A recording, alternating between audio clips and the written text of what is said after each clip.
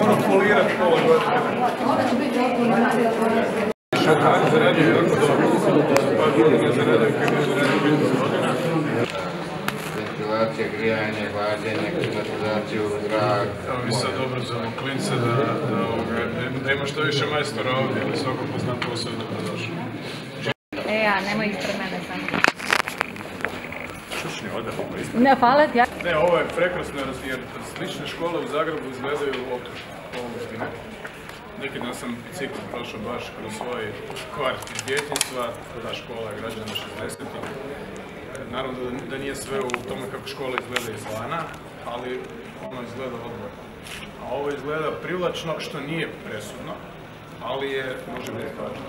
Vidi se na način u kojem škola izrasta i kako se transformira i kako privlači učenike, to su uglavnom dečki iz okolnih naselja, manjih Šibenika. Na svaki račun u trgovinama kad divljaju cijene hrane kao što divljaju kod nas. To je nešto što će biti meta obračuna od prvog dana. To se može. Nije jednostavno, ali se može. Ne tako da ograničite cijene karabatka, ne znam, ili pilećih nogica i vratova kao ova vlada što je učinila prije par godina i tu stanete. Dakle, naše ljude, nas sustavno deru. Tim trgovinama nas deru. I derat će nas dok se budemo dali derat. Svaka ovca ide na šiše. I vidio sam tu na plakatima koalicije Rijeke Pravde da piše odlučno protiv korupcije, e, ne odlučno, oštro. Ili kao što su laboristi govorili prije 30 godina, tough on crime, tough on the crime. Oštro. Dakle, odriješite. Oštro, grubo. Jel možete Tako komentirati? trebalo biti prema navijačima, imali smo nedavno ove nerede u Splitu, čini mi da su tri najveće do sada, su se nikad grad, stadion je suspendiran, danas je nekako baš To je odgovornost političkog vrha e, ministarstva unutarnjih poslova, ne policije kao takve, tu je Plenković pokušao, kao što pokušava cijeli život, kad je maturirao na tu temu još za vrijeme komunističke partije, manipulirati komunikološkim sredstvima i govoriti da je netko napao policiju. To je Božinović kriv za to i, Plenković, zato što nisu tamo stavili tri kordona policije, zato što nisu stavili vatrogasna vozila u stadion, kao što se recimo radi u Francuskoj, zato što nisu tri kordona policije sam spomenuo, zato što nisu ljude pregledavali na ulasku na stadion, vidjeli ste tamo da je bio na onim fotografijama, ja sam vidio barem pet onih baču od piva, pet litara, to je uneseno na stadion, dakle neko je lokal. I napio se, i onda počeo diviti, kako možeš unijeti, ajde pivo, možeš unijeti ovako baču od pet litara. Sve to policiji prošlo kroz nos i kroz sinusa. I onda je Onda su pustili sve ljude odjednom sa stadiona, pustili su ih da upadnu u teren, tome ima lijeka.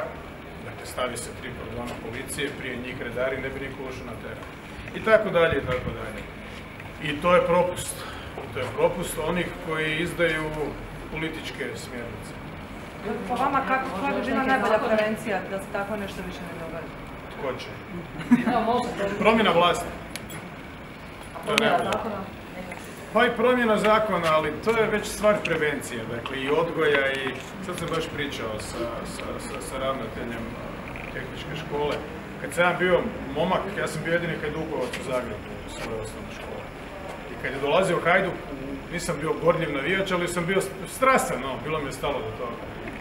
Ti klubovi su bili jači, relativno u odnosu prema europskim klubovima nego što su danas, danas je to slabije. Ali kad je dolazio Hajduk u Zagreb, onda je uvijek bio, bio je šušur, bila je atmosfera, vodio se tovar preko Trga Republike, nikad nije bilo nasilja. E sad, kaj, lažem? Govori se. Imate vi pitanje sad? E, ne, po vama koja bi bila najbolja prevencija da se ovakve stvari više ne ponavljaju? A sankcija komisije HNS je danas HNS treba donijeti odluku hoće li se studirati stavljanje na to. Time se ne bavim, o tome ne znam ništa. Nema tu odgojnih metoda, tu treba stvari dakle, riješiti kombinacijom sile i odgoja, ali za odgoj je kasno u ovom slučaju. Dakle, nema odgojne metode jer ti ljudi koji su to napravili će napraviti opet. Njih treba spriječiti. Oni koji dolaze, koji još nisu nasilnici, njih treba odgajati. Ali ne možete, ta, ta, ta metoda prevencije prema dokazanim nasilnicima ne djeluje. Ne djeluje. Dakle, netko ko je takav sa 25-6 godina će ostati takav.